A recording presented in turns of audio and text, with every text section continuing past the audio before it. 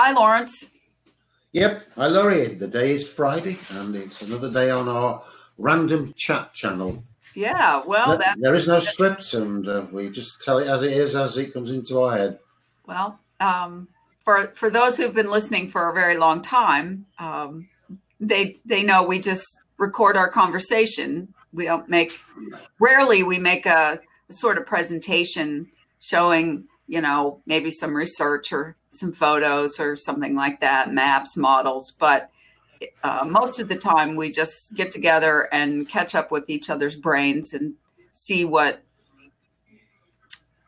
see how the research is moving along and and so just think of it as Yeah. lawrence and i sitting around the coffee table having a chit chat anyway this is part three of a three part series on um, the fact that flat earth is really not as simple as everybody's tried to make it out to be over the last five years or so that uh, it's been on the mainstream conspiracy Yeah. game for a while, but the the uh, the systematic approach that Lawrence and I have taken over the last nearly five years has been questioning everything, even what flat earthers put out there.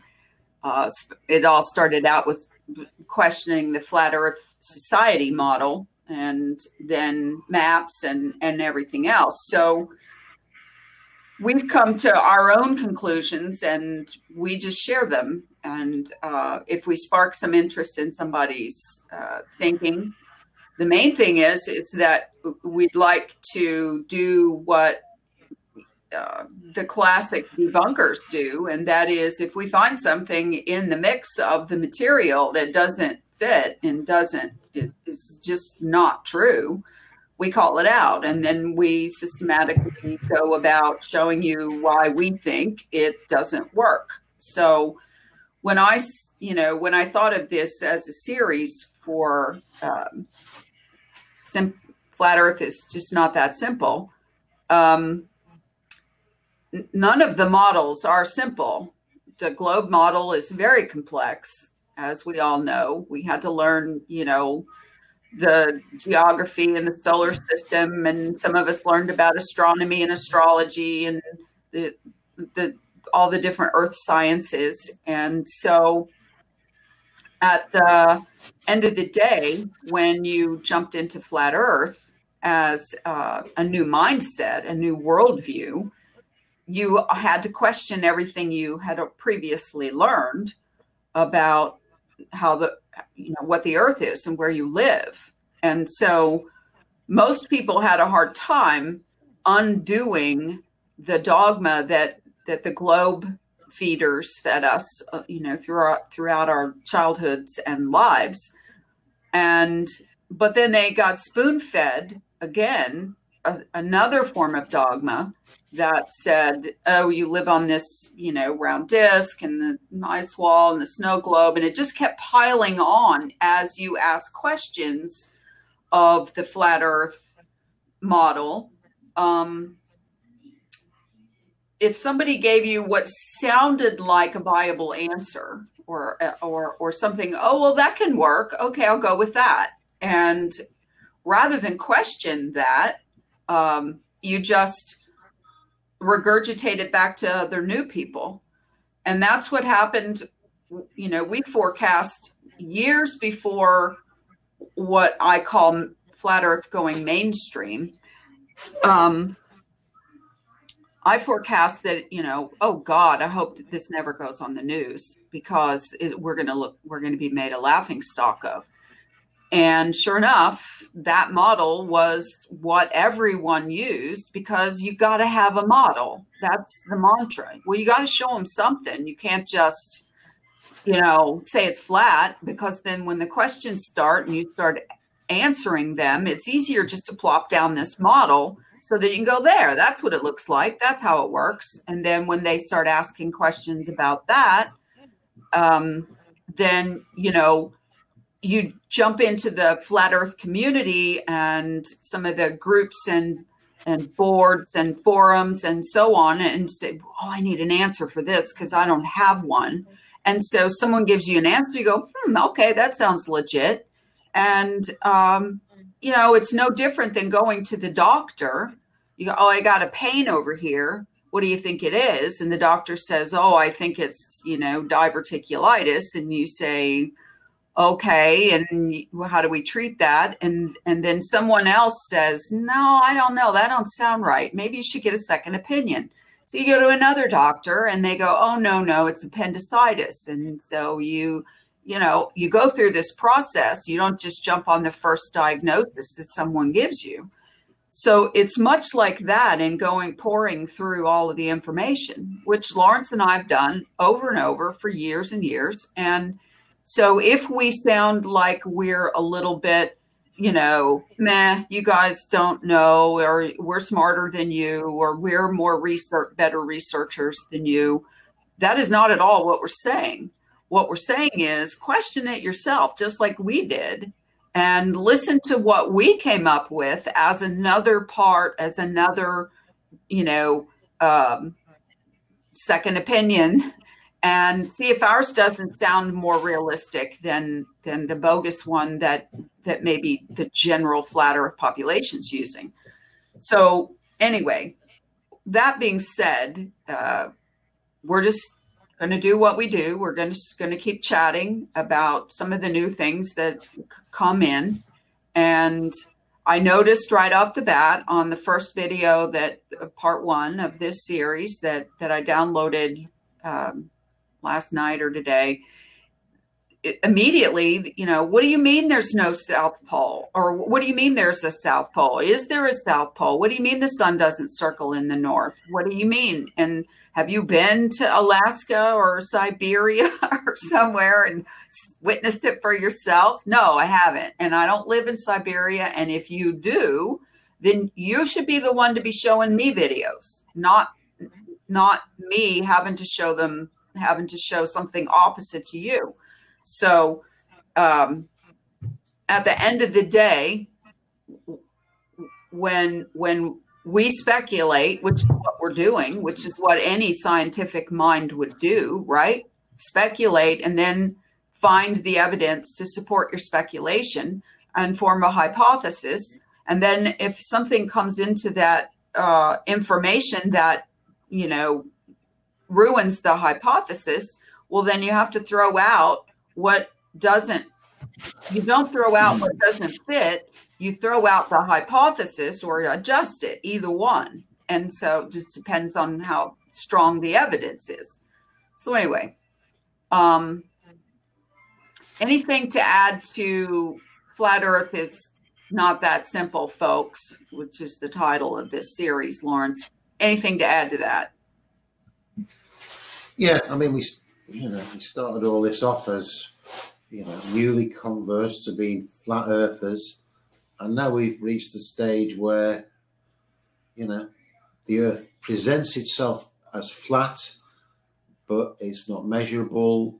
Um, the sun and moon don't fit; they all appear to be subjective, um, and you cannot be modelled. So if it cannot be modelled, it's got to be a creation that is, uh, you know, in some way. I know you don't like the word, but it's a construct, it's a simulation, um, and it's subjective wherever you go. It's, um, you know, I'm not a flat earther anymore. I'm not a glober. I'm not a flat earther. I'm a, I'm a construct, construct Earth that appears to be flat, predominantly flat with a few bumps here and there. But uh, you know, and, and the flat Earth is, you know, at the time it was, you know, huge, biggest conspiracy ever. But but now it's not, um, because you know it, there's other stuff out there which interests me more. You know, I mean the globe. You look, you look at the globe. It is beyond man to to um, make up the idea of a globe. This that's come from somewhere else some entities or get or they man was given it by some higher powers because man just couldn't possibly um, you know uh, make up all the complexities of the globe going back four or five hundred years just it just wouldn't happen so well, what, what you mean what you mean is they couldn't make up the complexities of the heliocentric model yeah yeah, yeah. It's, just, it's just so complex, you know. And but you know, we know that uh, these ancient Mayans and whatever they they knew about what was going to happen on you know thousands of years from now. They must have been a far more advanced society than than, than what they're made out to be because they know they know you know they may have been a long time ago, but they know, know a lot more about it than we do because they could predict when it would happen. If I said to you, here's a piece of paper and sit down and tell me when the next eclipse is, you know, using what, without looking at time and day or anything, you know, how long would it take you? Would you ever do it? Could you ever work it out? Probably no, not. I, I couldn't. No, I, not only could you not work out the date of an eclipse, but eclipses are only viewable from certain places on Earth at certain eclipses. Like, you know, they may get an eclipse in South Africa uh, that I won't see in the United States, no matter how hard I try. This, the moon is not going yeah, to eclipse for me there, and so that's part of it. Not only where, when is it going to be, where is it going to be, and um, you know, I mean, all of these things that everybody starts speculating about once they start asking questions at all, like how far away is the sun? How far away is the moon? What is the moon? What is the sun? Well, you know, all, yeah. all, of these questions. Uh, and then the, the minute work. you start to add uh, and you know speculate, then you're completely made fun of because then it's you know, well, I guess you believe the moon's made out of cheese. Well, if the moon looks round and the other planets look round, then why wouldn't the Earth be round? You know, I mean, it's just on and on. All of these questions. So, well, that's another one, Laurie. That's another one that doesn't fit. So, when you mention the height of the sun, and of course, there's a, you know, there's figures being bandied about in the flat Earth community about the height of the sun. Uh, of course, if you've got the speed of the sun, so we know it goes across the Earth in 24 hours, so that would be just over a thousand miles an hour. We can measure sun angles, so that's giving you some more information, and we know the distance across. Um, and so you can compute using trigonometry how high it is. But the problem is, you can take the same measurements from a different point on Earth uh, using the same information, and you're going to get a different answer. Everywhere you go, you're going to get a different answer as to the height of the sun. So there's a problem, isn't there? Uh, yeah, it's not it's not stacking up. Well, and it's not static. It's not the same height yeah. everywhere all the time, every day. And so as it moves from north to south on its, you know, path during the year, well, it's got to be so close that, you know, it's got to be the reverse of if it's 93 million miles away, it's going to appear to be the same size no matter what time of the year or what well, you know, distance we are from it or whatever. And so it's got to be the reverse of that when from Earth, if it's closer, um, yeah, is the size of it going to change that much? Well, it does a little bit. Some people have recorded what looks like bigger suns than you know on some days than other days, and and and the moon the same thing. So, um, the whole idea is is you got to get off that. You just got to get it's off not, that trying to figure it out, you know, in this finite sense. If you want to spend the time and sit down with committees of people like they do at NASA or JPL or some science institute, and everybody puts their heads together and comes up with, well, this this fits what we observe, so we'll we'll just say that's what it is. Okay. I mean, how did they ever come up with 93 million miles in the first place? How did they oh, ever yeah, come up with, you know, the speed that everything's moving, uh, all that? It's it was by some kind of either consensus or being fed the information and accepting it, or it it was, you know, um, somebody came up with something that sounded pretty darn viable, and their uh, leadership qualities, their intensity, all of that stuff made them sound authoritarian. And so everybody goes, hmm, okay, I'm going to go with that. it sounds good to me. I can't argue it. Yeah, the, the, the information. I think it was something to do with the transit of Venus, the the original one. There was one guy in one part of the world and one somebody else a few thousand miles away, and they measured this, that, and the other. But you look at what NASA come up with now. They they, they can't explain how how they get 93 million miles. But the sun the sun is not for me. It's not a physical object. It, you know, we, we do see something bright and shiny in the sky, but imagine that you can get you get in a rocket ship or, or an aeroplane that can, you know, and there's no there's no barrier to leaving the construct. You know, some you know metaphysical barrier that stops you getting out, uh, and you could actually try and get to this. You'd never get to it. It, it, it would just always stay the same well distance away because it's not real. Well, know, that, um, I I under, I think I understand what you're saying. Um, as as you travel, you know, let's say you're in a car and you're traveling for a long distance on a highway that's going east and west across the United States, for example, and you you're as you're traveling, you know, you look out the window and there's the sun and it just keeps being right with you. It doesn't ever seem to get behind you, even though you're going in the same direction it's going. you know what I'm saying? And there there have been pilots who have chased the sun around the Arctic circle and and kept up with it because it's appearing to be so close, circling there. Okay. Um, and I don't know if anybody's done the same thing in this in the southern part, but you know, in my mind, it's, I wish that I were better at doing computer modeling because, um, and maybe someone out there in listening land can model what I'm talking about.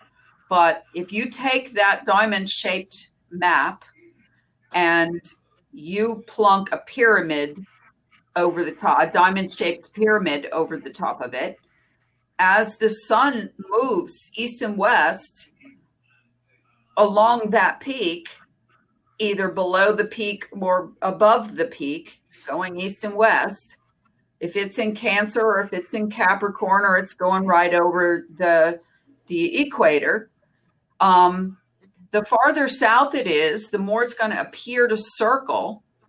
The farther north it is, it's going to appear to circle. But over the top, it's going to follow the line. That's what a prism pyramid does to light. It's how it refracts it. And I can totally see the sun just going, you know, across the sky in, in, in, whatever track it is within those three sectors. And I could see how, as it would cross the hump, the opposite hump of the pyramid, that it would appear to circle because you've got ref- reflection, refraction, and reflection. But again, the problem with all of this is trying to model how it works in any kind of a three-dimensional model is is impossible. Um, that's the reason why the globe model needs the spinning and the vortexing and the axis and the whole thing is for what we observe to work on that. But even so, people have debunked that plenty of times. Oh, well, it's the axis. Oh, it's because of the perigee or the apogee or the, you know, they come up with more and more and more descriptive terms.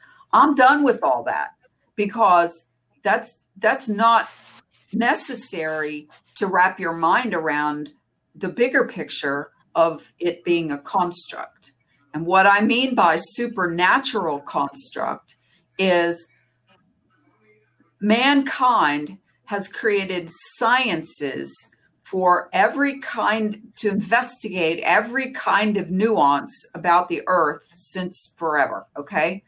And so each one of these sciences delves into one problem or one observation or one hypothesis.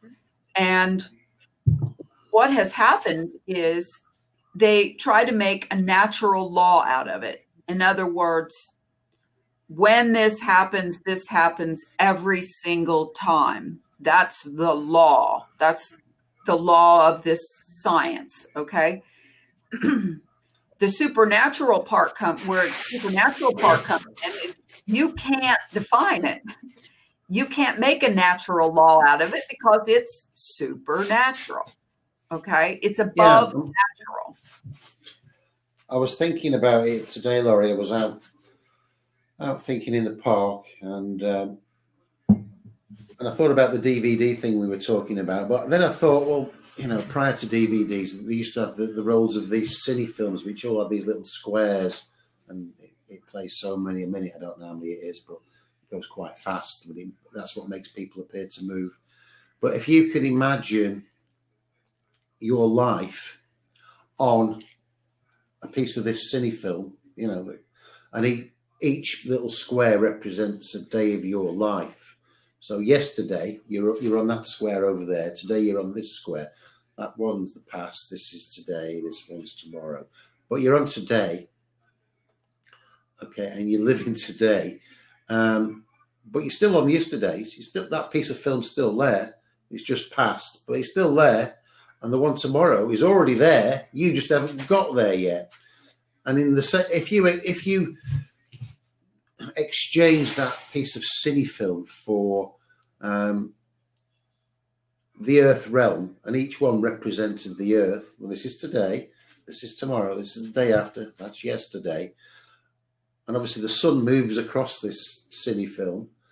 Um, Hold on a minute. Maybe, I make sure that I understand what you're saying. You're saying cine, C I N E, cinefilm, cinema film or CD. You know the old film, the old film that was on a reel, that, okay. and, and, it was it was. Okay. You, you know the old, you know when they used to make the old movies. Regular, you know. Okay, regular projector film that. Yeah. Cell by cell it by was, cell, frame by frame by frame. It was, all right, it was, it was little, little squares of film. Right, so all that, all this film is there. All this oh. film is there. And let's imagine your your entire life is on this film, and the day you know, yes, yesterday when we were doing a hangout, that's there, and the day before that's there, and tomorrow's there, but we're here on this piece of film now. And then you just subjugate the earth, the, the realm, onto the film instead of an, on an individual basis, and and then put the sun on it.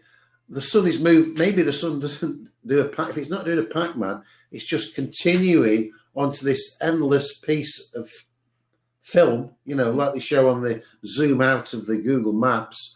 Um, and somehow maybe they recycle the bits once you've gone past them. I don't know what they do with them if they, if they did that, but that is the only other viable notion I can think of to explain what's happening. Because well, we know we're not on globe. Had that discussion about the about the CD and uh, privately that that was not something anybody else is privy to. So we need to yeah. talk about how we arrived, how we used that as an analogy, because we were talking about if your whole life is on a CD, you've got your CD, I've got my CD, um, and all the information is already on contained on the CD. You're born, you die, it's all on there. And you you could if you put it down today, you know, put the laser tracking down on it for today. Um, that that that's where you are right now. But all of the rest of it is all, all on the CD too, right? So you're just changing from the CD analogy that we we used before. You know, you and I have talked about. Um, and what led us to talk about that was you know, everything that you, everything in your life that's already happened is is still recorded in this on this CD, and everything that's going to happen in your life is also on this CD. You just haven't played that part yet. But I don't remember exactly how we got talking about that. I think we were talking about past lives, or we were talking about reincarnation, or we were talking about maybe, I don't know, is God omni? Is this how it explains how God knows everything, omnipresent, omni? Yeah, yeah. Okay. Um, I think it stemmed, Laurie. I think it stemmed from that. I think it was a dream. I mean, it could have been an Okay. out of body experience, but I, I, this is going just only a week ago, uh, and I had the most profound. I'll call it a dream to give it a name, and the dream was precisely ten seconds long, and in this ten seconds, that's the one. was- The ten seconds. Okay. I, I I was at the house that I was born at in in Cheshire, uh, in England. Um, I was a two-year-old boy.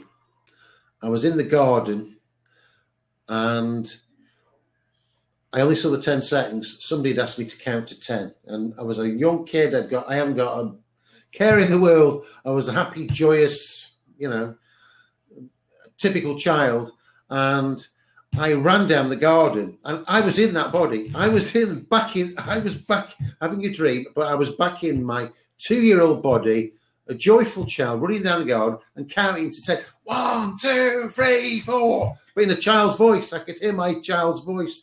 And and I was unsteady on my feet because the ground was a bit uneven. So I, I was running down the garden, counting to ten.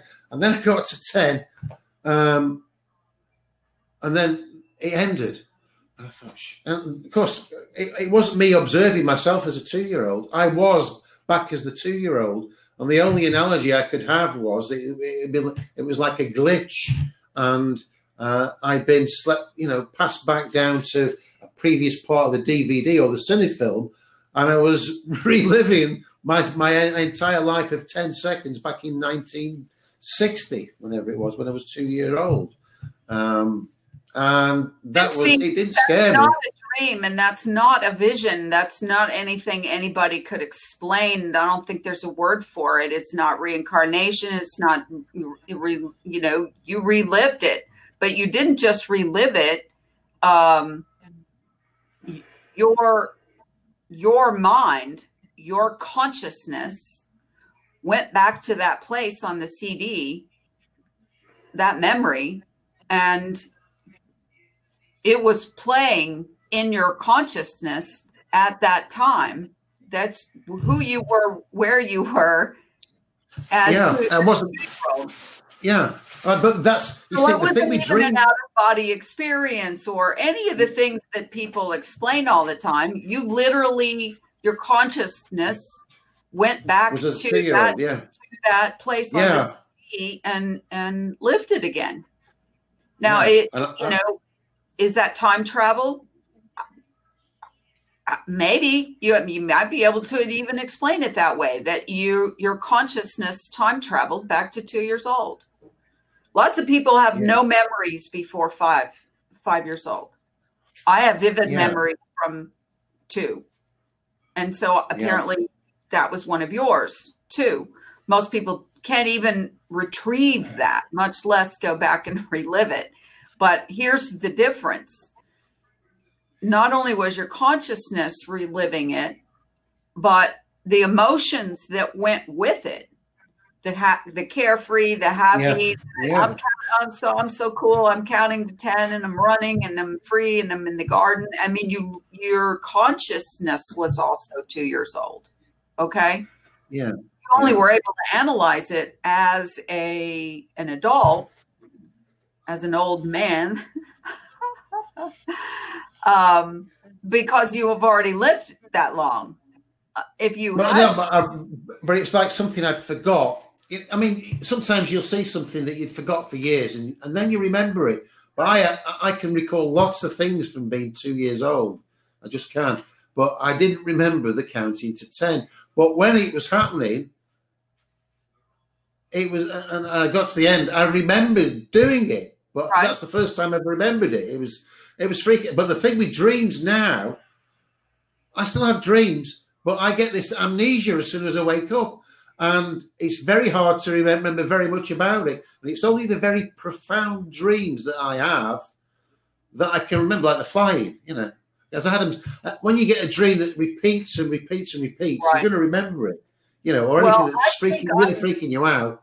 I think I may have somehow willed my consciousness to stop dreaming because I don't I don't dream anymore. And if I'm dreaming, It's going on in How'd my you know? subconscious, and I'm I have no memory of it whatsoever. I don't wake up from a dream. I, they, I they don't wipe dream. your mind, Laurie.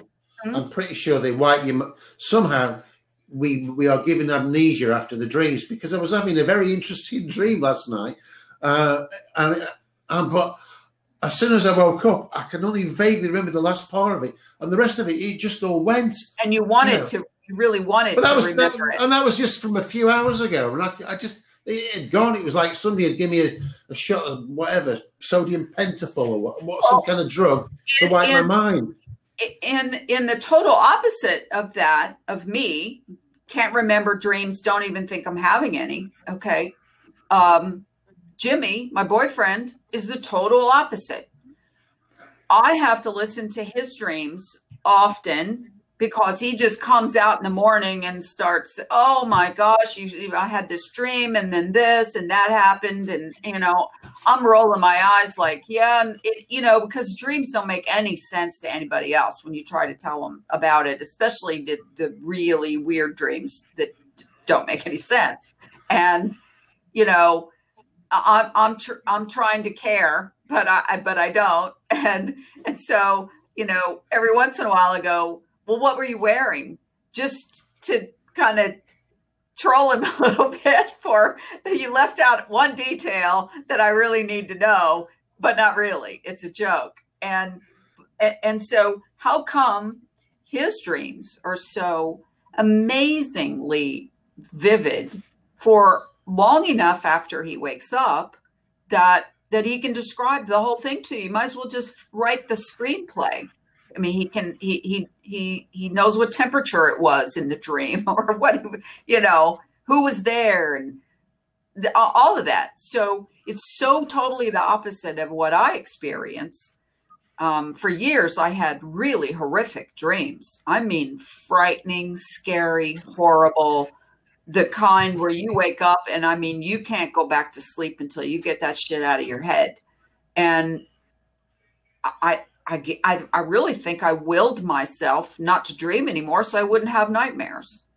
Either that Yeah. or, or either that or I'm dreaming in dreamland with all of the other comatose people asleep all over the world tapped into the dream factory and uh but I'm I'm my disc wipe is working really good and I don't remember anything when I come out of it. I don't know. Well, yeah, uh, this is something I'm going to try next time I have a dream. What these dreams where you know you're dreaming, but it's still a dream, and there's all these. Most of the people I see in these dreams, I've never se- seen them before in my life in in this reality. Never met them before, but in the in in in the dreams, it's like I've got a history with them, which is really freaky. So if I'm having another dream, uh, and I know I'm in a dream, you know, what would happen if you're in a dream that you knew you were dreaming, um, and you actually knew where you were physically, you know, geographically, lo- location. You think, right, I'm going to go back to where I live, and I'm going to go up to the bedroom. Are you going to find yourself asleep in your own bed? Well, but see, that's the problem. You don't get to choose. I mean, I'm sure there's some people who are in that free will. You've got, you've got free between- will. I'm sorry. You've got free will in dreams to do things. Well, I know you do, but when you're when you're falling asleep, like I have a hard time falling asleep, but when I do fall asleep, uh, you know, it's it's good. It's REM sleep. It's deep sleep, and then I don't sleep that long. I wake up. I'm done. Um, I, I can't imagine laying there before I'm getting ready to fall asleep, trying to think of what I want to dream about because I've never. I, I have enough problems with chilling out to fall asleep that I wouldn't no way be able to do that um, if I was sitting there thinking about what I wanted to dream. I don't really want to Yeah. dream. I I have enough um I have enough capacity in my wake my conscious state, my waking state to delve into the deepest parts of my mind and think about things that are abstract or weird or whatever. But Lori, when when you go to sleep, you know, to rest, charge your batteries up or whatever, you're not unconscious. You're still conscious. It's just a different type of consciousness to the one you have now. Conscious mind's still ticking away. I, I, I, argue that. I, I would argue that uh, my conscious mind is turned off. My I, I think dreams happen in your subconsciousness. I think that's the whole po- point of sleeping and resting is to close down the conscious thinking because I mean you know, look at all the people, they're so tired and they want to go to bed and they go and they lay there and they toss and turn. And that's the time when all of the things that they need to do come into their head. You know, tomorrow yeah, I've got to take the car into the shop and, you know, and I've got to, you know, uh, get that report done for work and, and clean the house and have dinner ready for the company that's coming and, and their mind is just thinking about all of those things. That doesn't happen to me. I just shut it down. I say you know we're going into la la land. It's time. You're tired.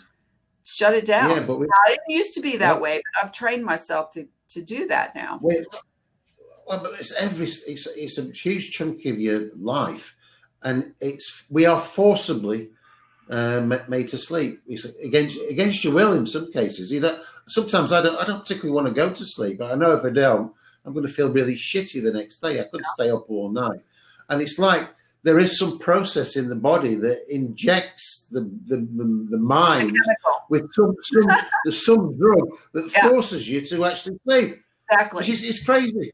I mean, I mean what sort of these? the, if you watch, you know, if you, if you watch movies, I, I, I've that have, you know, where, oh, this is the guy who's trying to save everybody, and he's, uh, you know, he's got to be, he's been trying to get everybody away from whatever the danger is, and now it's first watch. Uh, it's nighttime. You guys all sleep. I'll take first watch, and and to try to keep yourself awake for now you maybe you're on to getting close to 48 hours or something um, at some point in time whether you like it or not it's lights out i mean is that conscious are you still conscious when that happens? Absolutely not. Not in my not in my mind. That and so maybe you know defining consciousness from your perspective and my perspective are two different things. I don't know. Lori, I'll, I'll tell you what I say being unconscious is because I was on, I was in France, God no, forty years ago, on a camping holiday, uh, and this Red Cross fan came round to to collect blood. So I thought, oh, I'll go and donate some blood and get a free coffee and soft drink and a biscuit or whatever cookie. That's what you call them, isn't it? And uh, I was there was this Dutch guy opposite me, and he got this rubber thing in his hand and he was squeezing it and there was this bag of blood. I, I passed out. I was unconscious then. Uh, coming round from it, it was quite a terrifying experience because I didn't know where I was. When I wake up in the morning, I know where I am. But if you're waking up from being unconscious, you haven't got a fucking clue where you are because you've been you've got you're unconscious. So my my mind got traumatized by seeing this bag of blood, and I was unconscious. But when you sleep, I just think it's a different type of consciousness to, you know, your daytime hours, so to speak. That's my view. Well, okay, so so we're you know we're actually um, arguing the def- definition of consciousness right now, and that's okay. But um, there is a difference between if if you went unconscious which I has happened to me several times. It's happened to almost everyone at some point in their lives. Um, if you got moved from where you were before you went unconscious, yeah, I could see where that would be quite alarming. Where you came to and you, you're like, "Where am I?" Okay, but just waking up from sleeping. That's no, not I, that I, hard.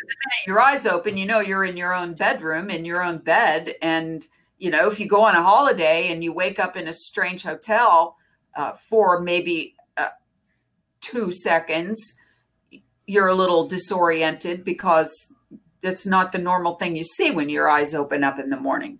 But I think that what where we're circling around to is how do we define that as part of this construct?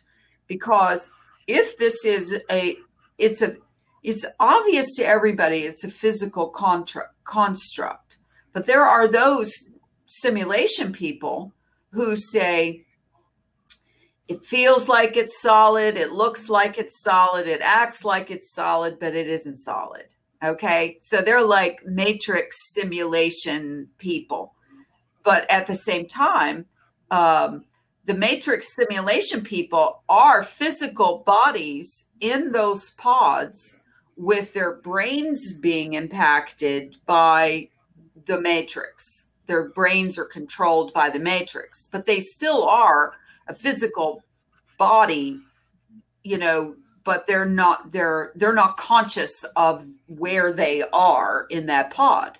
All right?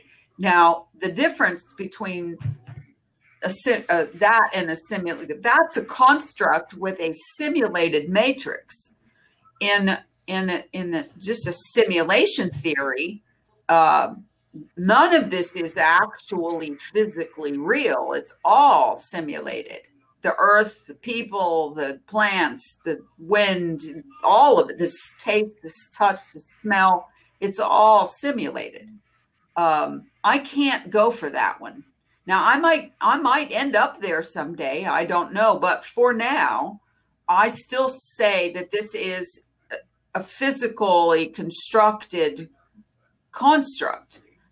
The part about, you know, people put so much into the mind, the brain, how it works and and all of that.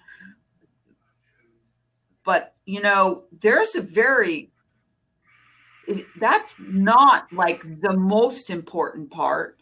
The body's important, the gut, the feelings, the emotions, the spirit, the soul, all of those things.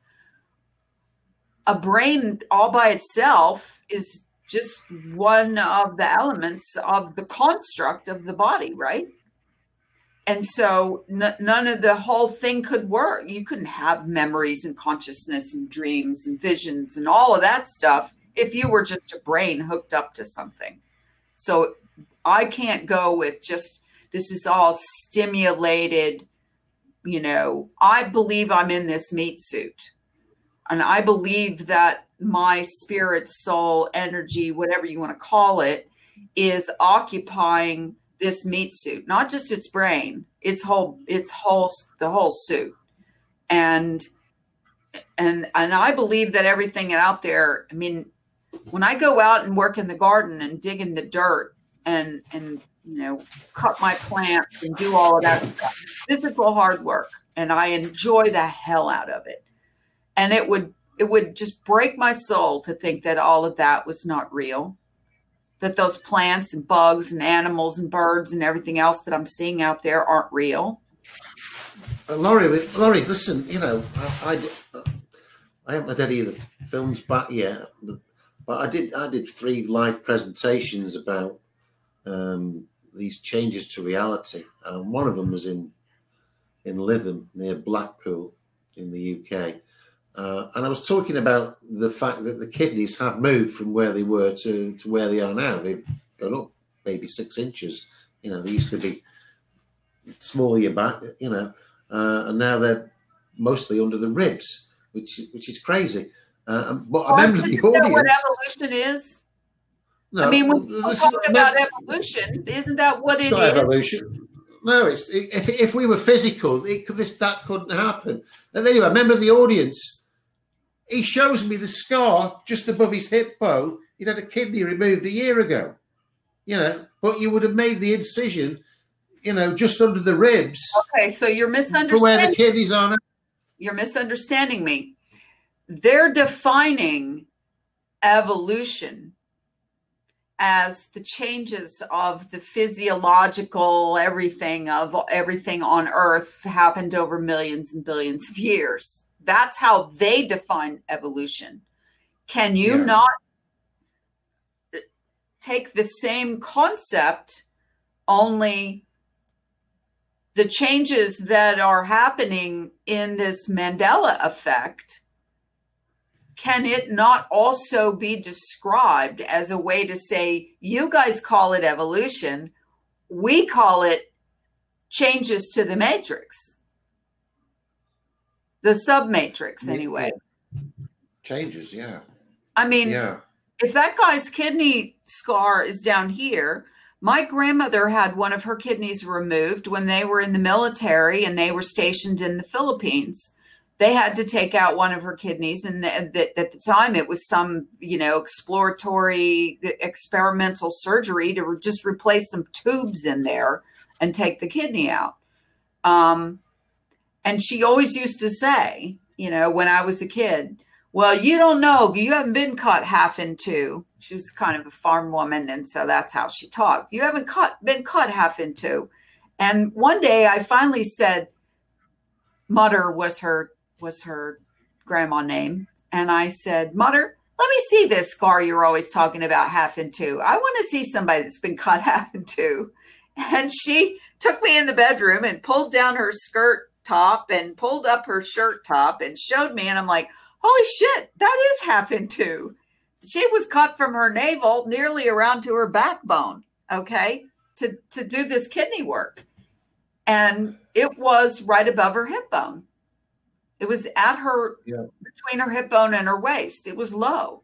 And when you showed me Yeah. the pictures of where they say the kidneys are now, which is nearly up under the rib cage in the back, um, I'm like, that's way higher than I remember them being in all my years of, you know, looking at anatomy in school and whatever.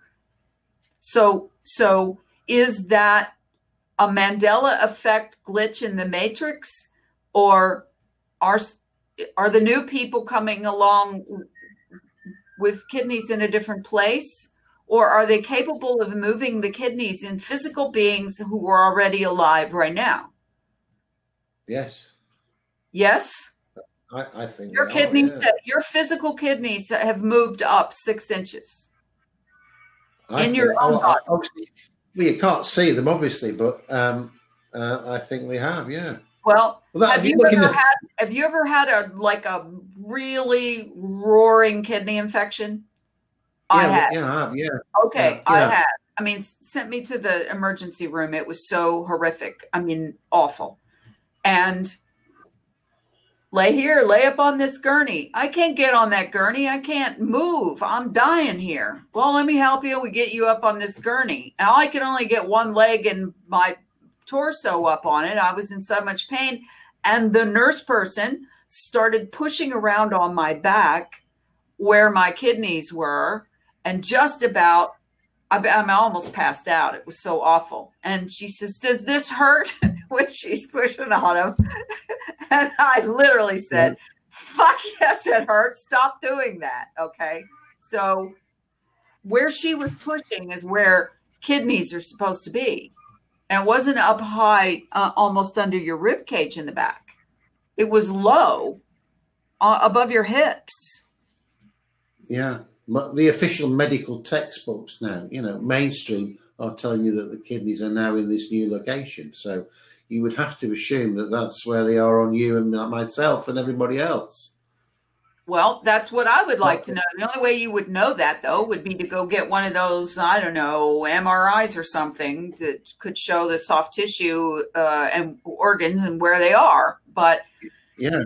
you posted in the Facebook group this this morning uh, uh, about women's reproductive organs and how how they're being moved around. Not just not I mean not physically where they are, but forever in the history of the reproduct female reproductive system the fallopian tubes are go around like this and and and and are underneath of the or the ovaries are underneath of the the fallopian tubes going down okay and you showed these pictures of from what did you say it was like PubMed or something Yeah.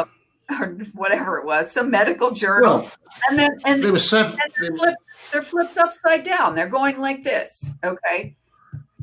How- How how can you just suddenly, after thousands of years or tens of thousands of years, whether you believe it one way or the other, of human anatomy, suddenly women's fallopian tubes are on the top instead of underneath on the bottom.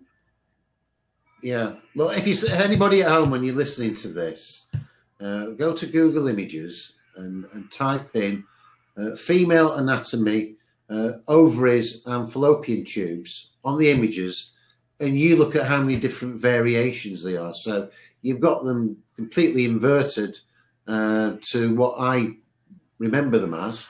Uh, but there's also several other versions, um, you know, and, and some of them, you know, you've got Encyclopedia Britannica, you've got Wiki, you've got PubMed, uh, and all sorts of health groups and what have you. And you've got huge variations, but, you know, you can narrow it down to two.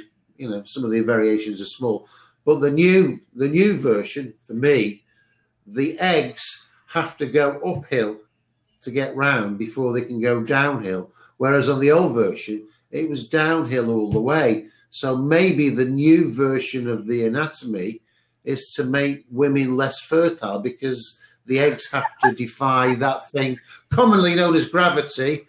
And we haven't got a replacement word for it in the flat earth community now. We're not flat earthers anyway. We're, you know, we're appears to be flat and presents itself as flat. But if if an egg has to go uphill, travel further, it might not get there um, and it may reduce the world's population. I, I don't. You know? I don't know. I'm mystified by almost all of these Mandela effects. Some of uh, some of them are so bizarre. Some of them don't really matter. You know, maybe somebody's company changed their logos around over the decades, and you're just now catching on to it. I don't know, but um, the Mandela effect jumped in with kind of almost on the same railroad track or par- parallel railroad track as the flat earth for, for a- almost about a year or so into flat earth becoming a you know conspiracy phenomenon again. And and, and so they're they are tied but the, uh, to me um the whole all of it is about creating chaos, creating a sense of uh, things things don't fit. I don't. Things don't seem. You can't trust that you what you believe is is true or right. It's something about trust or faith, faith challenging or I, I don't really know what it is, why all of these things have synced in to the same sort of pipeline at the same time. And when when I first got involved in looking into flat Earth, uh, obviously, one of the first things I did was started a website and and bought a domain name, Flat Earth Conspiracy. Uh, the reason why that was important was because it could go either way. It could turn out to be uh, a conspiracy to fool us or a conspiracy to hide the truth that the earth is flat and not a globe. So either way, that name was going to be t- stand the test of time wh- wherever it led me. Um, so the same thing happened with the group and and everything else. So so the name has is worked no matter how, how the story went but the the the somehow when when I first started looking into the, the, the flat Earth stuff, I started noticing right off the bat there were things that I wasn't ever going to be able to agree with. I wasn't going to go with that, and it became sort of this thing of well, if you're not all in, then you're not really a flat earther. You either got to be all in or you're a glo- you might as well go back to the globe. Well, obviously you're not going to go back to the globe once you debunk the globe. Um, but also you're not what does all in mean? All in means you're buying the dogma that everybody else has already decided is the dogma or you don't get to join the club. Okay. And I don't, homie, don't play that. I don't work that way. I, I I'm going to always think the way that my mind and my gut tells me to think, and what the evidence shows, no matter what everybody else believes. Um, so yesterday we talked a little bit about 9/11, for example, and 18 years has gone by, and you've got people who believe about this one event that happened over a couple of hours span of time on one day.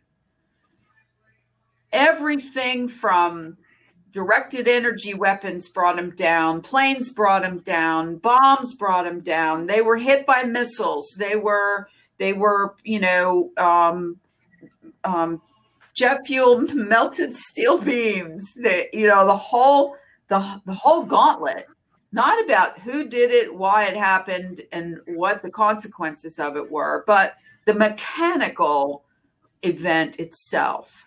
Which, if you could get that caught up in the mechanical event, event, and then people will say, well, but you have to know who did it and how they did it in order to get to the truth and point the finger.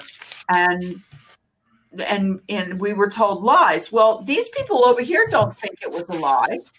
They believe the official story hook line and sinker and and think that you're a conspiracy nut because you question it.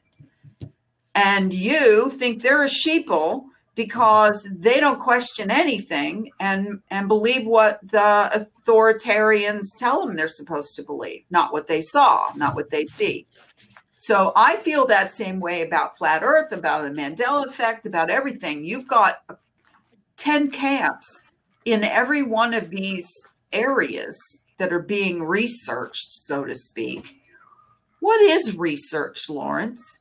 I mean, how many times have you heard and seen research flat earth? Why do you think that came up? I'll tell you why. Because they already knew that the control was going to be uh, put in place of what they were going to show you on your Google search when you typed in research flat earth, right? They knew what was going to come up on well, the first well, page. I, I, well, I think there's a there's a correlation here, Lori, like with 9/11, with um, bringing because the internet had not, you know, late 90s. You know, I'm, I'm having the, the internet in about 90, 97. So the internet had only just been introduced if the internet wouldn't have been there, then all this thing about 9-11, it just wouldn't, it needed the internet for people to look into it. That's how I found it. I mean, I, I, I, only, I mean, it was what, I didn't look, I didn't look into it until the year after. Uh, and the only reason I did, I used to work late at night selling finance and stuff. And I used to come in like, and I used to watch TV a little bit to wind down and I, I, was watching, and it got me onto uh, the fake moon landings back in 2002, and. Uh, and wow, wow, you know, and I was trying, so I was telling everybody, you know, they, never really went, they just pretended. And I thought, what else, you know, shortly after I thought, what else would they make up if they could lie about that? And of course, I just typed in um, the, the 9-11 thing, and of course, that just brought this huge explosion of all this fucking information. And that was it, you know, but without the internet, I'd I'd have never looked at it. Well, think it about it. Had, we, it without yeah. the internet, um, not only would, would you not be looking at a whole lot of things, you wouldn't care. The internet yeah. makes you care because it blows it right up in your face what they think they you should be looking into or what everybody who's a flat earther can honestly say that they had to hear it from somebody or they were on YouTube and they saw it over here in their suggested videos, or somebody else said, You should look at this, or someone, their friends on Facebook, posted something about it, or, or something. 99.9% of flat earthers got it via a suggestion of, of some kind. Okay mm. not because they just stood outside one day and said, "You know what? I don't think I live on a globe. I think I I think this earth might be this flat pizza pan." And you know, I bet you there's a dome over the top of it. And whatever you want it to be, I guarantee you, you're going to find something on the internet that supports what you want to believe, right? So, the same thing with concave. I mean, I can't tell you how many flat earth friends that I had on Facebook who um, somehow, right about the same time, jumped over to concave and and started making fun of the flat earthers and no it's concave and here's all the evidence to show that and and you're and I'm like I know what happened it was suggested for them to look at it in the same form that it was suggested for them to look at flat earth or suggested for them to look at Mandela if somebody had never showed you a Mandela effect instance before would would you recognize something was changed unless somebody else suggested it to you? That's the power how strong suggestion is. That's how hard it is to avoid it. I mean, my God, the marketers, uh, you know, they call it the PR people, Madison Avenue, you know, the, the the great marketers of the world all know how suggestion works to get you to buy things. Well, what is what is your worldview any different than buying into this brand or that brand or or trying something new, a new restaurant, a new car, whatever? Uh, it's by suggestion and by repetition. And so I recognize that immediately when it starts happening to me.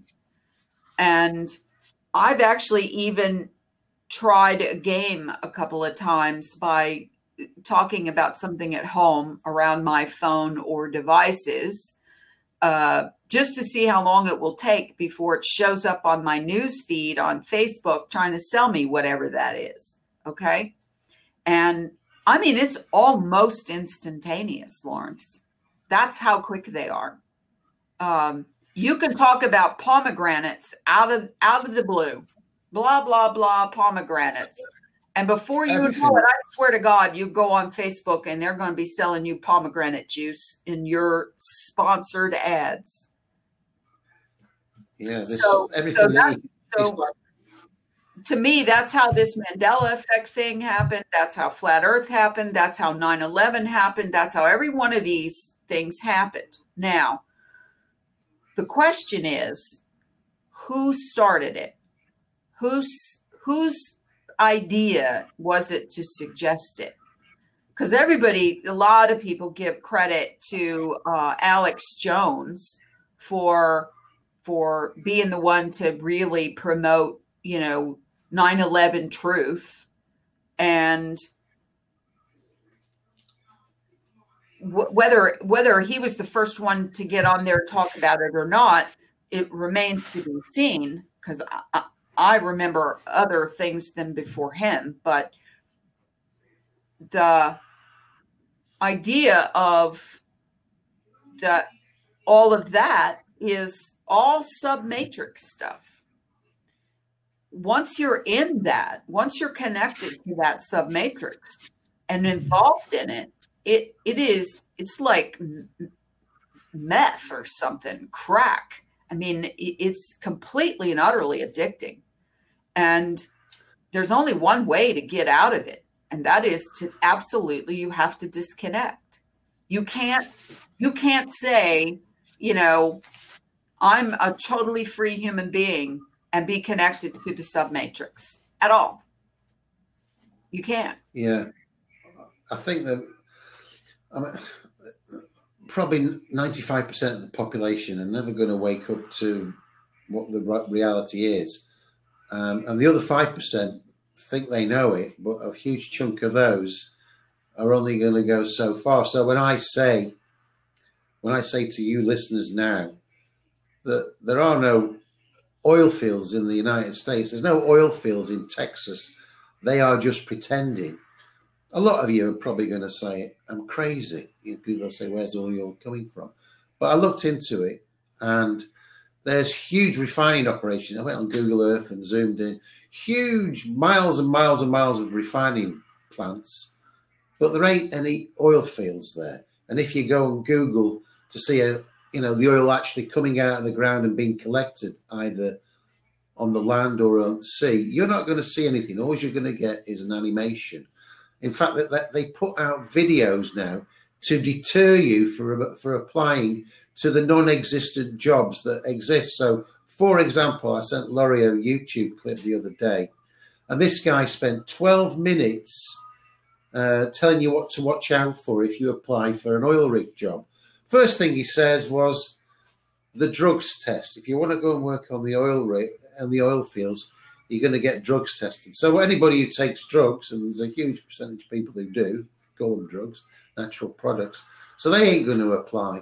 Uh, and then they, he goes on about the price of the ex- accommodation is extortionate, and it's you know you're looking at eight hundred dollars a month to share a room with three other people, and then the price of the food's astronomical if you want to eat out, and it's five dollars for a slice of pizza, and there's nothing to do if you go and work in the oil fields. Uh, there's absolutely nothing to do, and there's no internet. This is what the guys say. There's no internet. It's cold and it's bleak, and it's very dangerous. You might lose your arm or your hand, but you know that's the price you pay for these these high wages. And then just to tap it all off, the, the guy would say, of course, and if you do go and work for three months on the oil fields, uh, by the time you get back, your girlfriend or your wife will have left you. And that was the whole. He was, he was certainly it? trying everything he could to get people to not apply for the jobs, huh? yeah. I yeah. did watch. It was, it was obvious. It was obvious. that video, and it, it seemed like most of the most of the work that he was doing was stocking shelves with with uh, yeah bottles or cans or whatever of oil in stores stocking he was yeah. stocking yeah. that's not oil field manufacturing but um you know what that's a whole nother complete avenue of I, I the word evolution they, is coming into my head again, Lawrence. Of they don't they don't want this out there though. We got. I mean, I've I've owned oil wells before. When I lived in Indiana, I had a a part in an oil well. You know, you buy you buy a a share in an oil well, and um, I didn't. I wasn't involved in it for very long because it was one of these deals when it's really producing well, you get a nice little check. But when it's not producing, you have to pay to, you know, overhead costs, electric bill, you know, fixing the well pump head, uh, in, you know, injecting water into it to try to get the oil to come back and all of these different things. And so it ended up being not, you know, a money pipe like I thought it was going to be. So I sold my share but there really was oil coming out of the ground. There really is oil. No, so, there isn't. It, there isn't, Lori. No, there, there's there no oil.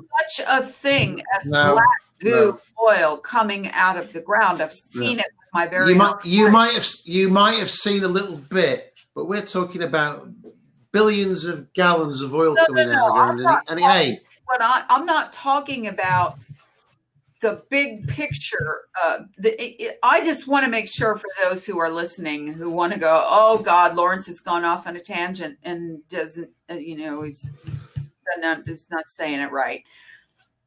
The point is, there is petroleum oil under, under. have you actually have you actually been there physically yourself yeah, and seen and and I, how, how much oil did you see? Standing on the on the ground when they put the well pump in. Okay. They drill, they drill, drill, drill, and then oil comes up out of the hole. Okay. They don't set a wellhead unless that happens. That they, they have to strike oil. And I have literally well, t- oil coming out of the ground. So don't just don't go quite that far to say there's no well, such well, Lori, oil. You tell me where to go and look. I, I want to go and see these oil fields in Texas because oil. apparently there's thousands of them. Are there, there aren't no, any. Wait, wait, we're screaming. Are there no oil sure. wells? Are there no oil wells in UK? Pump No, oil pumps. no, don't no. You don't have oil in the UK. It, it, it's allegedly made offshore, but all the oil oil rigs have shut down. They're just for show. The few that they've got. Okay. There's no, there aren't, there aren't any. You go and look at the documentaries about how they bring the oil ashore. They can't show you. They just show you, uh, you know, um, It's one of those times. cartoons. It's really okay to argue. It's really okay to not have the same opinion. But I'm going to tell you there is oil in the earth. Okay. I have seen it with my very own eyes multiple times. Now, are is the oil that we're using for to fill up our cars and to put in our engines and all of that is that the same oil coming up that's coming up out of the ground that i that i can't say because i don't have chain of evidence command over this oil came out of this ground out of this well pump and was put in this tank and was taken here and refined into that okay i haven't followed that trail but and I know there are plenty of synthetic oils, and I know, you know, all the ways they can make oil. What is it? Carbon and hydrogen.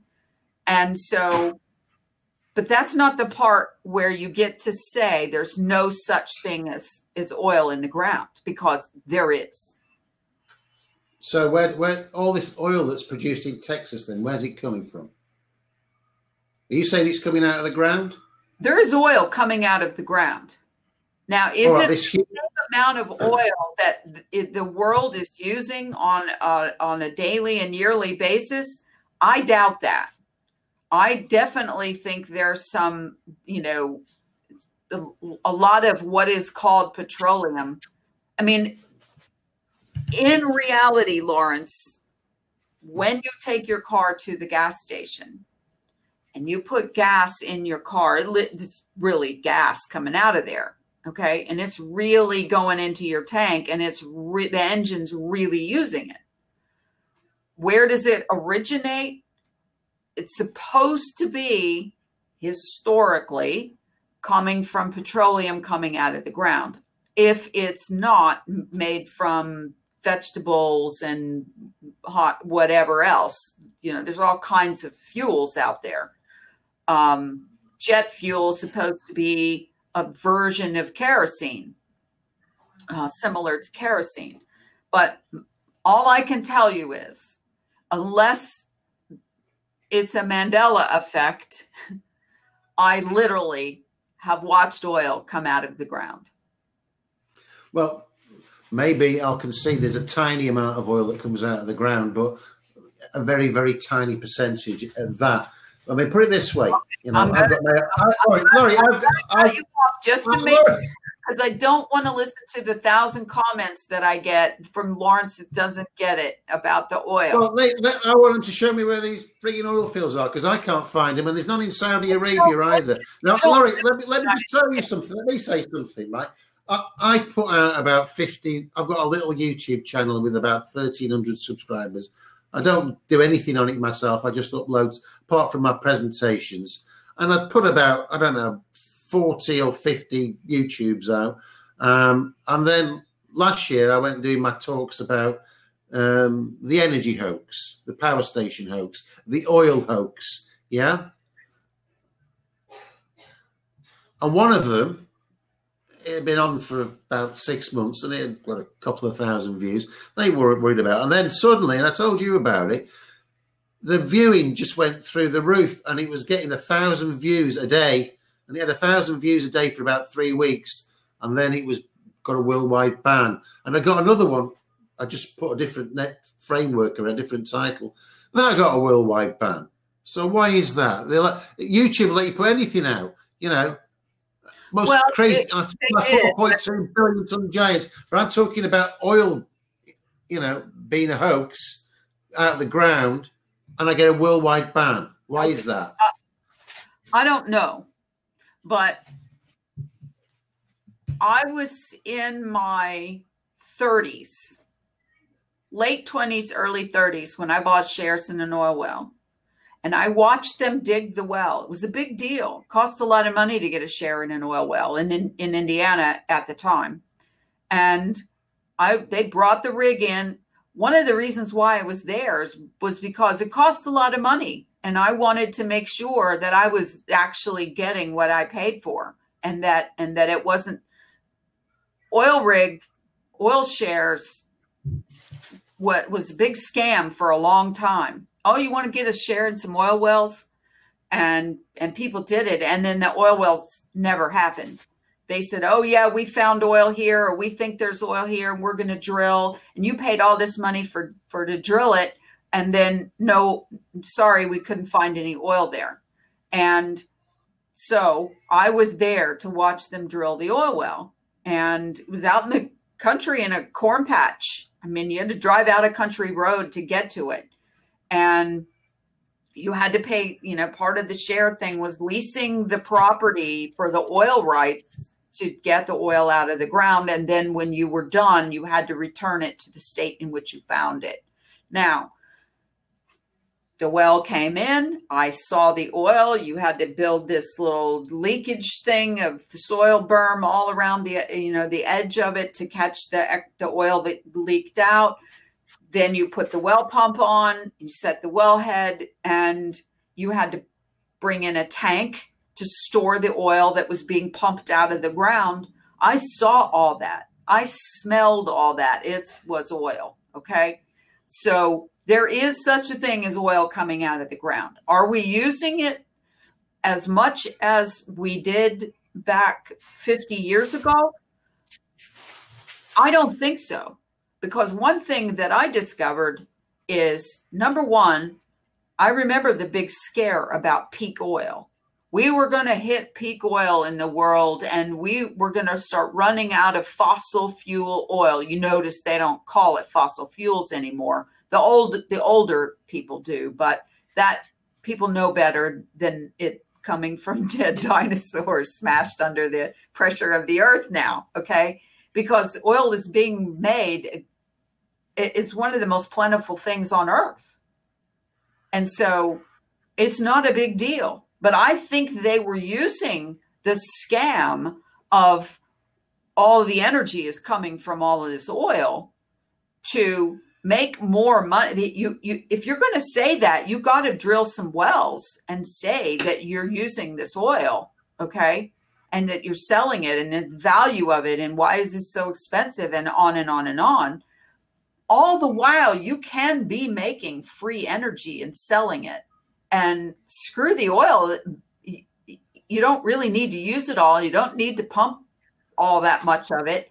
And so now suddenly america seems to be oil independent. Oil independent. When just a few decades ago i mean in the 70s we had to stand we had an oil embargo and we had to stand in line at our cars it for to get to get gas and there was rationing. So now suddenly we're oil independent so there is definitely something going on there lawrence and that's probably why you got shadow banned uh, for for what you, you were putting out there because they don't want this issue to be talked about. Because then it's going to come out somebody is going to start going barrel by barrel by barrel because people will do shit like that and and trying to determine well how many barrels are actually coming out of the ground? How many barrels are going through the refineries? How many barrels are you know are are um are are being used by all of the cars out there and do those numbers jive? That's not me. That's one of those people who loves numbers. That's not me. Yeah, well, it doesn't stack up for me. You know, I can see that there may be a, little, a small amount of oil out of the ground, but a, a tiny percentage of what, what's being used. For me, they're just making it, and they always have. Um, maybe in the early days, you look at those. Somebody actually lifted one of my videos, the start of it, and it showed you ten oil rigs, all right next to each other. Right, mm-hmm. this is from the old pictures of Texas or whatever. it was in America. With my very yeah. own eyes as well, a kid. Well, it's totally illogical, isn't it? Because if they did strike oil, they're all going down into the same pool of oil beneath them. But So they won't make any money. They'd have to share it between all 10 of them. okay, It's nonsense. I'm going to explain to you that there's different well well depths drilled. If you find a vein of oil, it is kind of like a pool, but it seeps through the rocks to cut to be pulled out. All right, and or the, the rocks and sand. And so, yes, when they do drill oil wells, if they're close to each other, that's a big hit you can afford to put a bunch of different well heads in that and pump it all into the same tanks and and it is less expensive um, those well pumps can only go so fast you see them you know on the old days yeah yeah yeah yeah i've seen them going no no no no no pumping oil out of the ground but Yeah, where are they now, though? Lori, where are they now? Because they ain't there. the same way, Lawrence. They're not. You, you, you, it's very rare for for somebody to put a, an oil well on either private property or open property. Most of the time, back in the day when you used to see them um, out in Texas, they were in the you know flatlands. Nobody lived there. It was kind of desertish, and and but there might be some right outside somebody's back door. In Indiana, they were usually in the cornfields um, and you know the, all they had to do was not plant the corn in a little square area where the oil well was and the oil pump was and but you could drive down the same road that you drove down 40 years ago and you won't see all those oil wells anymore so I don't know where they've gone. Most of the people would say, well, the oil dried up in that vein. And so they packed up and moved on. And they have, that's part of the deal. When- Lori, when- Lori, seriously, abandon the well, you have to put the land back. logic, Lori, but back when they had all these, what do they call them, derricks, and there was hundreds of them all lined up next, the amount of oil they used then was probably 5% of what they do use now. There would need to be thousands and thousands of them to make today's oil, but there isn't. There isn't. There isn't. They're not there. They're not there, Lori. You know, they're not there. They might, not, they might not like me talking about it, but they ain't there. You know, and if somebody wants to show me where all these are, I'll, I'll, and I'll, I'll humbly say I was wrong. All right. Okay? What? For me, there, ain't any frigging oil, oil fields. All right. I understand your passion. And I understand that you believe that you're onto something that nobody else or hardly anybody else is onto. But let me explain the difference between then and now. Yes, we're using a lot more oil based products because we're not just using oil for. Uh, for our cars and our machinery, plastic bags and all kinds of tires and all kinds of crap are made out of petroleum based product okay? And so yes the the use of oil should be way more prevalent now than 50 years ago. But i i'm not one of those people who goes around looking for oil wells lately we don't have any in Florida because we don't have oil here. Now, look at the amount of money that they spend putting these big oil rigs out in the Gulf of Mexico. Go go look for some of that. Gulf of Mexico Uh-huh. oil rigs. There was haven't- there there the there was an oil spill in the Gulf of Mexico 10 years ago that was horrific. I mean, oil pumping up out of the seabed all over the freaking place. Okay. I saw it. So I know it was coming out. I know they're pulling something out of the ground, Lawrence. You saw it on television, didn't you? No, I saw the oil. I, I've seen oil washed up on the shore, yeah, back in the 60s. Okay. Where'd it come from? A, a tanker that leaked. Well, that's A a different that's oil spill from a tanker. Uh, you know, the Yeah. Exxon Valdez and stuff like that. Yeah, that's a whole different ballgame. Lori, They, they lie about things. wait, if there's no oil, where where did where did that oil come from that is in those tankers? You're saying they're It was, making manufa- it, it was manufactured in the Middle East and sent over to Europe and, and the America to be processed. All right. They manufacture the crude, blue crude. Just just for now. Anyway, it's good We're- to have a. We're gonna um, we're, we're gonna put a bookmark in that, and we're gonna move on to another subject because there's no sense arguing about it when neither one of us can show evidence to the other one. It's just what we're saying we've seen and what research we've done. Okay, but f- for God's sakes, it, it absolutely is true that oil comes out of the ground. It absolutely is true that certain machinery is using oil based products. But now, the third part that is at question here is is that the same oil that's coming that we were told it's been coming out of the ground or are they making it from some something else some other means in the meantime okay standard oil and the big oil companies are some of the are the wealthiest corporations on earth okay? Now they made all that wealth by selling oil and power to people right? The standard oil and those big companies sell oil petroleum based products to the world. Yeah, but I mean, look, 1925 Fischer Tropsch, they figured out how. Well, it was, p- p- prior to that, they ma- made synthetic oil in the 1920s. i know that So it's all going to be synthetic, isn't it? Once you can make it, why would you I'm spend billions of dollars get trying to it. prospect for it and get it out of the ground? You wouldn't do it, would you? You just make it. Of course, you would make it. There would be no reason to pump it into the ground and then pump it back out again, just to make people No, think that it's a you- know a rare So yeah, source. so they're pretending. They're pretending, like like Apollo. You know when the Apollo mission takes off. I was watching some of the old old ones. There was a Mandela on one of them. The guy who did all the commentaries from it, he was calling it Apollo Seven when it was Apollo Eight or something like that. Posted it on the page, and then you see the rocket taking off, which I'm not even sure whether that's real. And then it says it shows you the other one animation of the rocket separating into the first bit and the second bit. Well, that's the same with the oil. You want to look at how it's all done. They don't show you anything real. It's all animation. And when I, when, when you see animation, it means the whole, for me, the whole thing is fake, just like the Apollo missions. Well, fake. okay.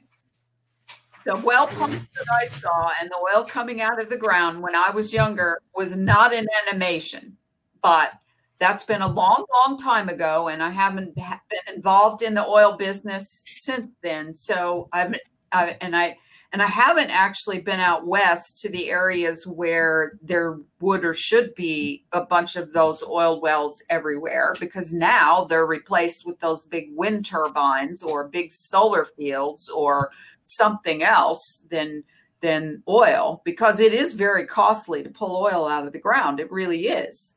But not in comparison to some of this other stuff that you know yeah it's pretty cheap to build solar now but 50 years ago it wasn't. I mean that was a hot new thing that it, was real expensive to get solar panels.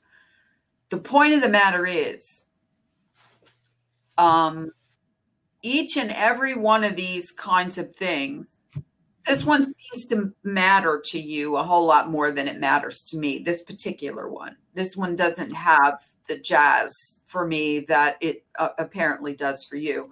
Mandela effect hasn't had the jazz for me at all. Uh, i've listened to other people talk about him and i have investigated ones that people have pointed out to me but it, it you know we each to our own have our own interests and it's just happened to be one of mine. Um, but the only time that i argue with you lawrence is when i have evidence or opinion or knowledge of something contrary to what you say or believe. But that doesn't mean that you're wrong or that i'm right or that both of us aren't right okay we can both be right on this particular issue. Whether or not they're still using the oil that's coming out of the ground um, is a moot point. is the oil coming out of the ground? All of the oil that they're telling us we're using, is it all coming out of the ground?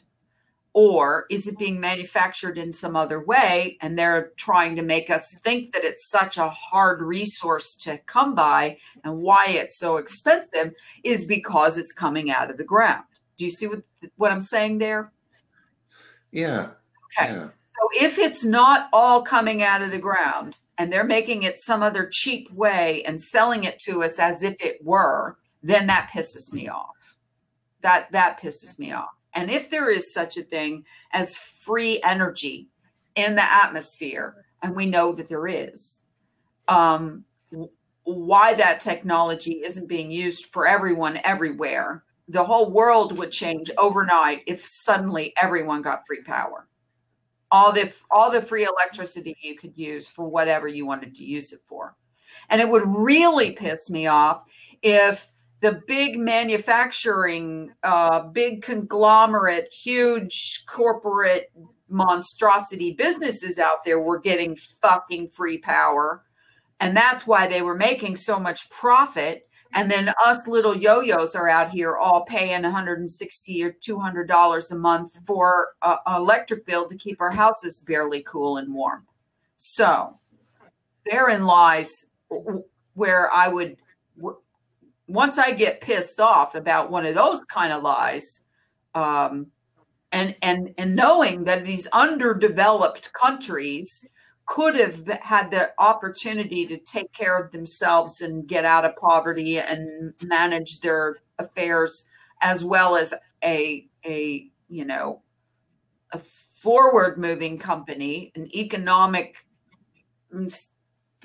big co- country like united states or britain um, and they've been held back on purpose that would piss me off. See, stuff like that pisses me off. Not the underlying lies, but I understand exactly why you're digging into it, so to speak. Well, this has been about uh, two years for you on digging into this energy thing. Well, um, I mean, the other big one, uh, you may not be interested in, but maybe the viewers are or listeners, is that in your house you've got a consumer unit where the electricity comes in and they measure the electricity comes in and okay, you get billed. Sorry? Call that a meter. All right. So you get billed on what comes through the through the meter. Yeah. Okay. You get billed on that. And that electricity, like a river, it flows through the house. It goes through the wires in your appliances, and then it goes back out down another wire back into the grid and is reused and it just gets slowed down a little bit. The electricity is not, you cannot destroy energy. It just circulates around the house and it goes back into the grid. But you don't get a rebate for that that goes back. You get billed for everything that comes in. Use. That's what's happening. That's what's happening. They, and that's why they shut so many power stations down because they're bogus anyway. You know, and the, the electricity can't be destroyed. It's energy. Well, I'll give you an example of um, I have some friends. I they they have this is their second home here in in where I live. They have another home up north that they spend the summer up there and they spend the winter down here, otherwise known as snowbirds. And I watch their house in the summer when they're up north. And they put in this whole roof system of solar panels this this past uh, spring, and they have a metal roof on their house. We call it tin roof, but it's a you know a metal roof completely covered with solar panels on the back side away from the street where you can't see them and they went from paying about anywhere from 350 to 450 dollars a month to power this big house. This is a nice big house. Lot it's three air conditioning units, blah, blah, blah. Okay. So I don't know what they spent to have all these solar panels put in.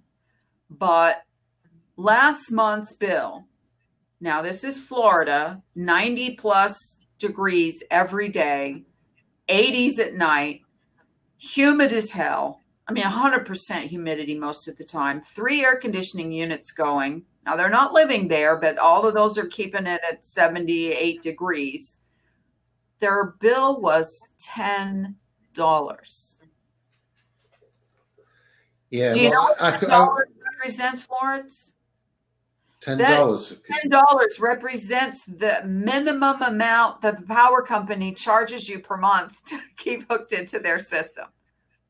Well, I mean, we are where, our weather's nothing like yours. We don't get anywhere as much, you know, relative sunshine as what you do. But in the UK,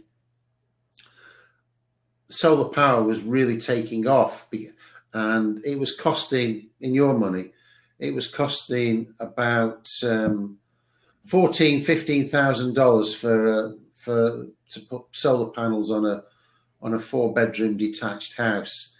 Uh, but we had something over here called a feed-in tariff. So any electricity that you didn't use, it got fed back into the grid, and you got paid money for every kilowatt or whatever it is uh, that got back in. So over the course of a year, for that size property, you would get back around two thousand eight hundred dollars payment into your bank accounts, paid quarterly. Obviously, you get more in the summer than the winter because there's more sunshine. So you get virtually free electricity in the summer, um, and not very big bills in the winter. Uh, And th these were self-funding in four years. Right. They were paid, but they have a life. They have a lifespan of 25 years, uh, and all the payments are index linked, so they go up every year. So Right. it was a complete no-brainer. Germany's the biggest user of solar panels in the world residentially. So over where you are, with the amount of sunshine you get, you know, if they're installed at a similar cost, you'd probably get your money back in about two and a half years. So, So no brainer to do it if if you get the incentives to do it like you did over here. the point is, if they were paying four hundred dollars a month, and they ended up paying ten dollars a month, that means they were metered for four hundred dollars. Okay, but they Yeah. produced four hundred dollars back, so they yeah, zeroed out. Okay. In Yeah. my opinion, if what you're, if the way that you described electricity when we first talking about this, if all you're doing is using it and it's going back into the, you know, it's, it, it doesn't go away. Okay. You just use off of it. And then what the hell are this just proved another thing. If if it should be free, but you're pay, being paid, you're being billed by metered kilowatt hours, right? yeah, Then if their solar house is producing enough power to n- not use any from the power company, they should be getting the $400 plus paid for $400 worth plus paid $400, not zeroing out. Do you see what I'm saying? yeah, Okay. yeah. So again, it's just another layer onto the scam. Because they paid probably 30 40 50,000 dollars for the amount of solar panels and installation and the whole electrical grid thing that they had to put in to convert the solar power to the you know meter to the house to the whatever. I, I i'm not i'm not exactly sure how it all works but the point of the matter is you know it's supposed to be a, such a good investment that you'll get your money back when it should have been free in the first place all of it the the, Yeah. the florida should be putting forget the electric generating uh, nuclear power plants and everything else they've been they've gotten they're using why not use solar on everybody and just charge them a little bit or or just give them a little break but no that's not how it works that's not what utility companies are all about so Yeah. it's just it's just another layer of the lies of the matrix lawrence it's it, it they're all tied yeah, together. I know. I'll, I'll, I'll, tell you what else. I know these might not rock your boat, but uh, I was looking. I, did some measurements. I was looking at these um, Airbus A380s, and these these planes actually come in and like they they're like hovering, and they come in and land like a bird. And back in the 80s and 90s, the runways the runways had to be two miles long because it took that long for them to stop. Now these planes come in and when they're coming in, it's like it's like they're just hovering like a bird. And when they when they touch down, they're stopping in about a thousand meters. They could stop sooner. They're know, stopping in a in a like quarter of the of a runway, and it's it's like this is this is new technology because planes never used to do that. I because I've I've been on planes and they stop so soon. In the old days, you know, you'd take up most of the bloody runway to get it to stop. and oh yeah, I mean, it's freaky. Um, the I've been on, you know, I flew this spring up to see my mother. I don't even remember. It was one was a fairly large plane. The other one, two were small, pretty small, and it felt like the small planes needed more runway to take off and land than the big one did. They do, yeah. And, but I don't know. Maybe they've added some what is that that we were talking about about the bumblebees and the levitating? Yeah, the, these planes they are levitating. These, these big jets they are they are levitating. Yeah, they are. I mean, somebody's, somebody's put some, somebody's put footage out of these planes standing still in the air. I don't know whether it's real or not, but I've seen the video of it. You know, well, and they, the, speed of the, speed in which they uh, fuel up these planes with these little bitty hoses that they hook in. Oh, okay, well, yeah. it's about this big and there's like the little truck that pulls up with, with the fuel and the hose, and the, and you're like, there's not a lot of fuel going in there. And you know, we've all we've talked about this on the other videos quite a bit. Uh, how much fuel planes are actually holding versus what they used to say they hold, and you know, the full fuel wings and all that stuff. It's another one of those parts that goes back to 9 11.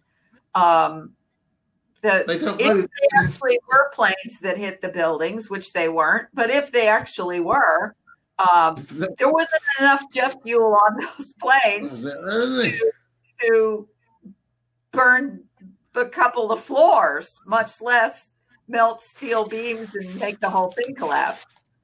Yeah, hey, Lori, hey. I've, I've, let me. I've been to the Canaries, God knows how many times. You know, I've been to the probably about thirty or forty times, maybe. But uh, obviously, since I've been into this, I've been paying very close attention as to what happens. So, the plane bringing the holidaymakers over to the Canary Islands, it, it's in right. The passengers are coming off, the baggage is off, and while the people are coming off, we're lined up to go straight on. They don't get refueled no refueling done at all. You just get straight straight on. There's no fuel. And this right. is a little tiny island anywhere. They haven't got well, anywhere to store all the fuel. That, that's that's actually not that unusual because um, when when I went to gosh St. Thomas in the Virgin Islands, um, it's a pretty small island, really, all things considered. And the first thing you do is you take off and you go over to somewhere like Puerto Rico and fuel.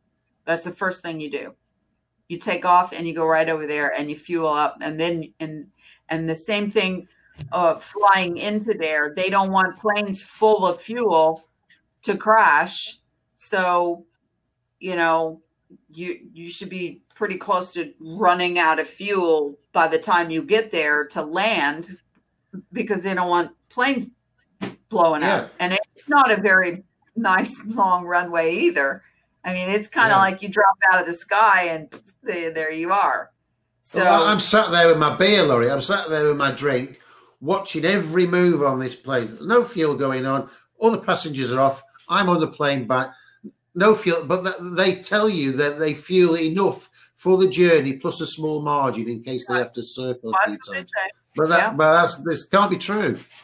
I've heard, I've heard, I've heard, all these things too. You know, the part about questioning everything is at some point somebody's going to tell you the truth, right? Can't everybody be lying about everything? God, I hope not. Yeah, I, I really, really hope not. But you know, at some point, you got to find some truth somewhere that there's no need for a lie. Okay. How does, any, how does anybody figure anything out? Lie attached to it because then that would say that nothing is the truth, nothing is real, and what a place to, what a world, what a world, what a world. Uh, that's the wicked well, Give me, give me some truth. Give me some truth that's shared by. Give me something that the mainstream tells is actually true. You know, give me one thing off the top of your head. So give me something that's true. It's real hard. it's real hard to do. I don't you know? don't get me wrong. It's real hard you know, to do. I mean, like the like the food the, like the frigging America, America. This is America. This is America for you, Lori. They pro, they prosecuted the people who make cherries for saying cherries are good for your health. You can't make claims saying cherries are good for your health. No, it's, because it's, it's just unbelievable. You can't say that. Practicing medicine, and you have to have a license for that. You can't say it's good for you. Well, okay. But you can always we can put all this shit in the products, and as long as you get a you know permission to do it, you can put as much shit as you like in the in the American food and let them eat it. Well, listen, but let me tell you natural. And oh, you know the American. Hold on. I, I, I, don't buy almonds from California, wherever they come from anymore, because they're all pasteurized. Well, when I buy almonds, I say I don't want any of those American rubbish, and I don't buy I don't buy American uh, sweet potatoes because they've all been coated with chemicals to stop them rotting. But they're nearly all from the USA in our supermarkets. The, the okay. sweet potatoes. Yesterday, Jimmy came home with some grass-fed beef pasture raised, grass fed beef in a package. And first thing I did was I looked on the back of the package for, for the ingredients. What's in it? And I swear to God, beef. Yeah. That's all it said. Ingredients, yeah. beef. Yeah. I'm like, damn, I haven't seen this from no salt, no water, no monosodium glutamate for for preserve no no nothing beef that's all it said and and yeah. i mean you that that is coming as close from the farmer as you could possibly get. Farm to table is beef all right? So i know the problem is you you know yeah you can say beef. Did the farmers put anything in their food? Did the farmers inject them with any vaccinations? Did the farmers accidentally let them eat a few bits of some kind of fertilizer from something on the grass and blah, blah? Okay. You can't, unless you raise and reuse your own seeds and 100% control your your growth of everything you put in your mouth these days. And that would include a hermetically sealed cover over the, whatever this is you're growing um, and and, and a, uh, what do you call it? Clean room to enter it and exit it because you got shit falling out of the air. You got fumes puking by by cars. You got you know the whole thing. There there's no way to eat pure or anything these days. You can get as close as you possibly can but there's no pure. There's no you know untainted anything. Yeah. Well you, certainly if you're buying it from the supermarket because there's there's there's organic and there's supermarket organic, and the supermarket organic is industrial, so yeah. they they can put uh, antibiotics on apples and pears and still call them organic. Well, crazy. The, the the label organic obviously has been bastardized over over all the years, but originally when it started, it was a good concept and you know, back years ago when I first started buying organic food, it wasn't really that much different than buying straight from the farmer who you knew didn't use chemicals on their fields or on their animals. I mean, to me, chemicals are vaccinations. Any antibiotics, anything that you put in that isn't just eating the grass is um, is tainted. But again, to me, that's when that's when I said earlier that you you can't truly be out of the submatrix in today's world unless you're, you know, in the Amazon or some i mean there's very few places left on earth that there isn't wi-fi signals going over your head or planes or cars or or submatrix taint. There's very few places left on earth that's like that. And and they and you know they make it sound like these undeveloped countries these underdeveloped countries it's like please save a few of them just in case just save a couple of them undeveloped you know because yeah a day when you know people are going to wish that we hadn't come this far that we hadn't gotten into all this factory farming and factory everything and factory lifestyle. We all live a factory lifestyle in one form or another. Well, tell me, like, because I mean, I only went to America once. Um, you know, took my kids at the time, and we went around all the theme parks. Well, I mean, the thing that amazed me, if you bought a normal portion, it would be enough to feed three people. A child's portion was enough to feed two of us. And I went to one of these restaurants.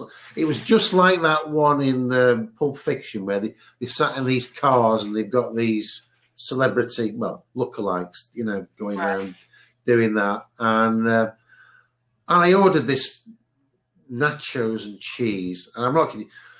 They brought they brought a plate out, and it was the plate must have been two foot long and one foot, and it was piled up like that. And the guy put it in front of me.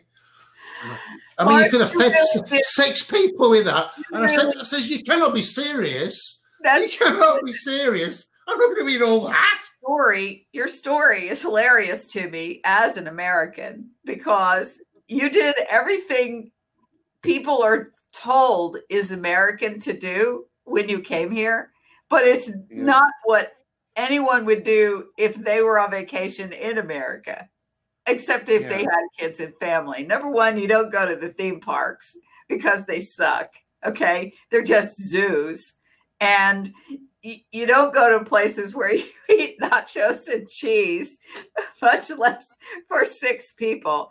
Because if you have the opportunity to go on a vacation, a nice vacation in America, and you're American, you're going to go find some place where there are no people, as few people as you possibly can. Or if you're me, you're you're going to do that anyway. And you you're not going to go to one of those themed parks, and you're not going to go to a themed restaurant. So you got sucker punched into what it is to go to vacation in America. But yeah, well, was, I mean, uh, we did the Ripley's Believe It or Not and all that sort of stuff. And large. The, Jaws. The portions are large but look at the people in America. Used to be, you could go back and look at pictures of America in the 70s, and you might see 5% um, overweight people, or otherwise known as obese, depending on how much overweight they are. You might see 5 or 10% tops in the 70s. You, you go and just take a snapshot of America now, and at least half, if not more, are overweight or, or obese. And there's the exact reason why because they're Americanized. People are ruined. They're getting ruined here. They're filling them full of chemical, uh, uh, you know, medic medicines, pills for everything. Oh well, now I got side effects from there. Well, let me give you a different pill to take care of the side effect from the other pill. And instead of saying, well, maybe we should stop taking the first pill, let's give you another pill for the side effect. The, the GMOs, the crappy food, the processed everything, you know, uh, I mean, you can just go on and on and on. We're being poisoned. We're poisoning ourselves.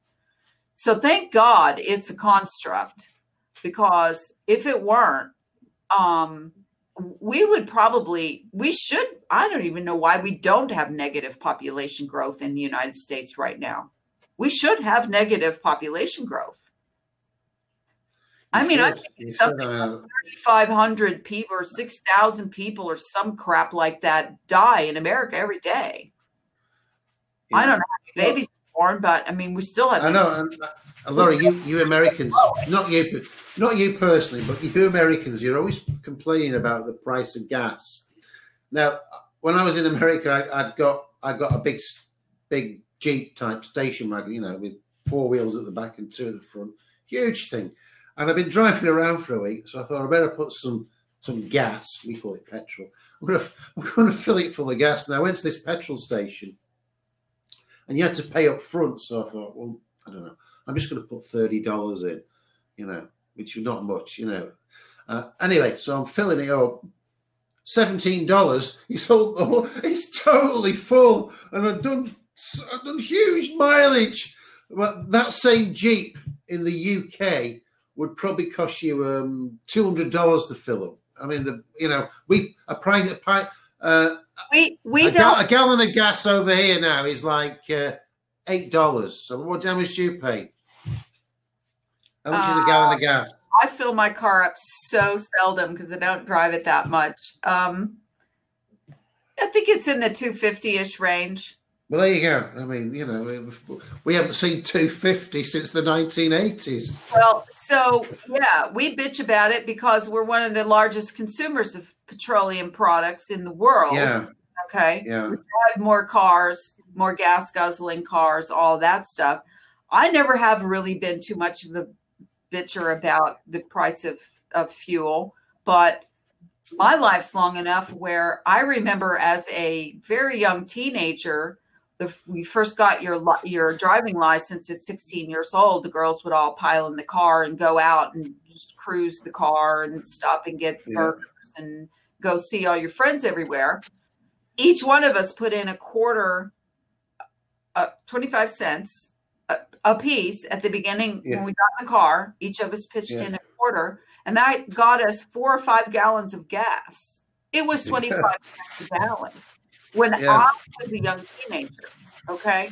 So yeah. that was before the oil embargo and the peak oil and the all the other crap, but it wasn't long after that. I mean, it shot up. And there used to be petrol stations on eh, all four corners of an intersection in certain parts of town. Standard oil over here, SO over here, Shell oil over there, and uh, uh, and competed against each other and had gas wars, lowering, lowering, lowering the price to get everybody to come to their station. Okay. So, you know, things are a lot different now than they were back then. But the the the things that Americans focus on um, and bitch about um, are really pretty upside down for for what they should be bitching about. And because they're they're they're most of them are sheeple. And they're suggestions they're suggested to be concerned about these things. And yet all these other things over here they don't la la la la la they don't seem to pay that much attention to. So anyway. All right i'm yeah. gonna um wrap this up unless you have something new you want to add in for part three. No think we got a couple hours here. Yeah, well, I need to do some digging for some something interesting to okay. Well, people up or, I think it's been an interesting conversation. When you and I get to yelling at each other over the microphones, that you know, oh. but that it's actually uh, challenging because neither you or I are the type to get mad. It, you know, that doesn't mean we're mad at each other. We're just in you know, intensity's coming out.